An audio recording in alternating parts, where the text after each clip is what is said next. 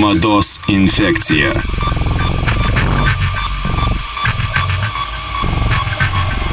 Kovo 20-21 dienomis šio laikinio meno centre.